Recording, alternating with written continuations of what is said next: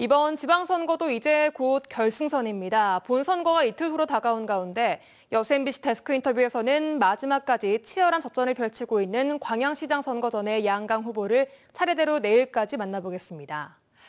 먼저 오늘은 광양시장의 세 번째 출사표를 던진 집념의 정치인 더불어민주당 김재무 후보를 만나보겠습니다. 박광수 기자입니다. 안녕하십니까 반갑습니다. 안녕하십니까. 네. 반갑습니다.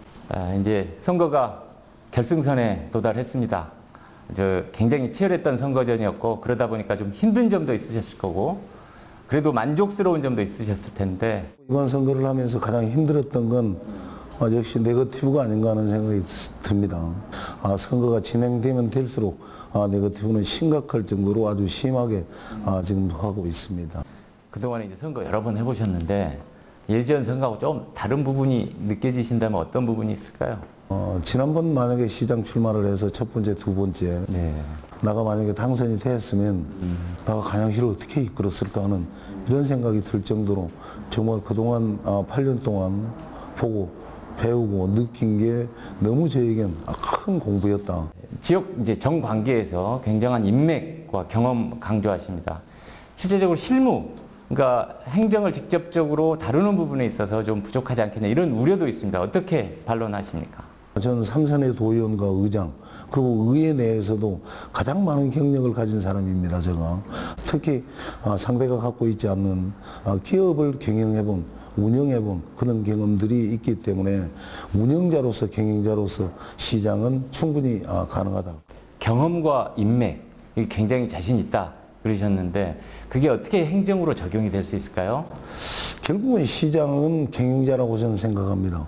아, 책상머리에 앉아서 행정을 하는 사람이 아니고 아, 국비, 도비 그리고 각종 사회 인프라를 구축하기 위해서는 많은 인맥이 있어야 된다고 생각을 합니다. 그래서 아, 이런 것들에 대한 세일즈, 세일의 어떤 시장으로서의 아, 가장 적합한 사람이다.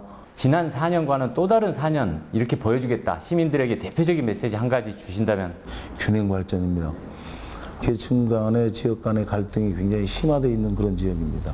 아, 그래서 이 갈등을 없애고 아, 모두가 잘 사는 광양을 만들기 위해서는 또 농촌과 도시에 연계하는 그런 각종 사업들을 통해서 하나가 되는 그런 광양시를 꼭 만들어내겠습니다.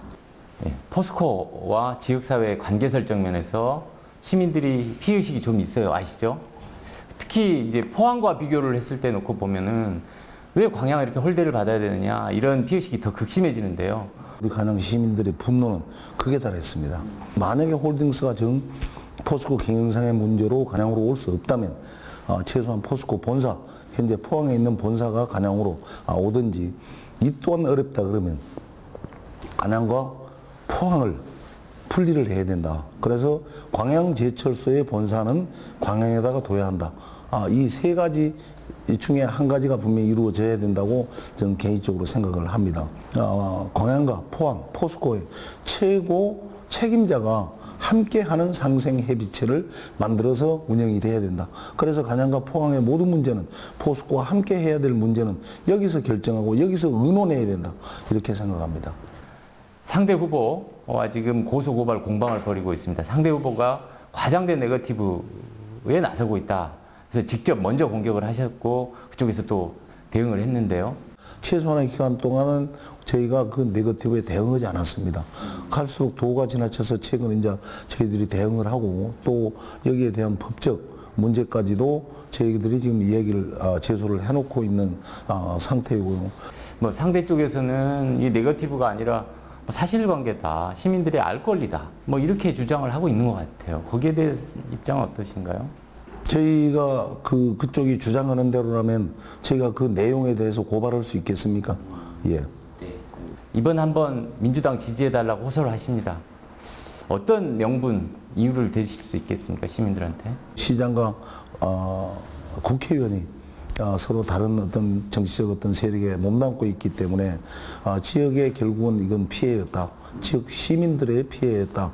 그래서 이런 것들을 또 줄이고 또 국회의원과 시장이 호흡을 맞춰서 아, 일할 수 있는 그런 배경을 또 만드는 것도 아, 굉장히 중요하다고 저는 생각을 합니다. 그래서 이번에야말로 절호의 기회다. 먼 길 오셨는데 아, 시민들에게 마지막으로 전하고 싶은 메시지 한 가지만 얘기해 주십시오. 예.